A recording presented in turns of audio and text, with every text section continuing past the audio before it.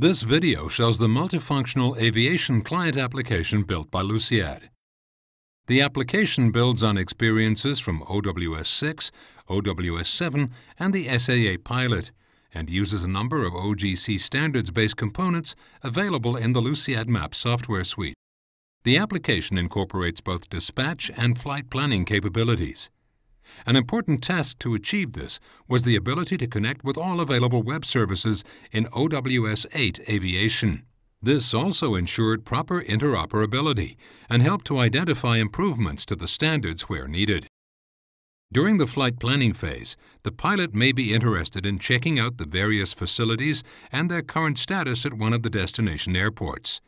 He can zoom in on the airport and load the features of interest on the map.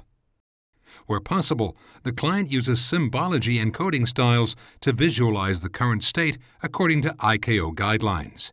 Because the ICAO guidelines do not define styling for the entire airport layout, we defined a few custom styles. For instance, a red hatching pattern is used to indicate that a given runway is closed. A second example is the styling of a contaminated apron.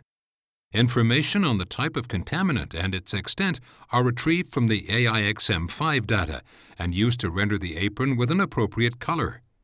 For instance, the green color indicates that the apron is covered with grass, which is also shown in the data browser. The light blue color indicates that the apron is contaminated with ice.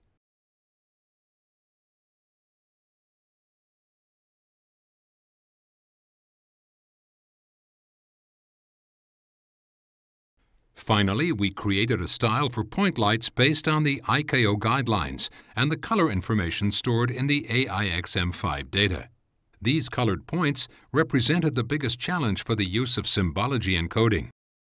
Because the point lights are modeled in AIXM as a set of nested elements inside an enclosing light system, a new composite rule type had to be defined to support this styling.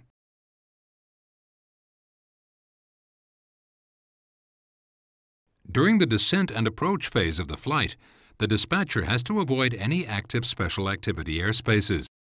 He can load the airspaces close to his flight path to see whether they might affect his flight. An appropriate style is chosen to indicate airspaces that are going to be activated.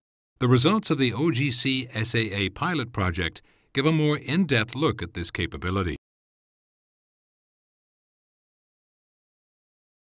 A flight dispatcher might be interested in detailed weather information at the destination airport. To this end, the National Weather Service has developed guidance TAFs and made them available through a web feature server in the WXXM format. Our client can load these guidance TAFs and expose every detail of them through its data browser.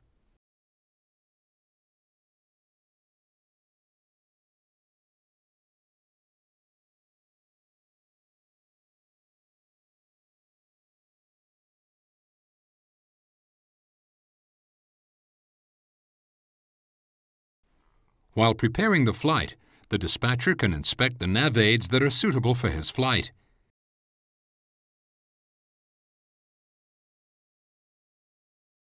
He also subscribes to an event service to ensure that he receives all digital NOTAMs that may affect the nav aids.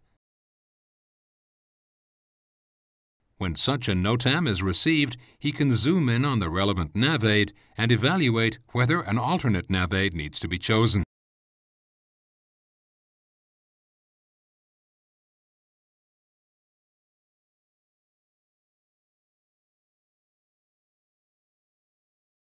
In this video, we showed how a flight dispatcher or pilot can use our client application to seamlessly interact with various web services and select exactly the data that is of importance to him.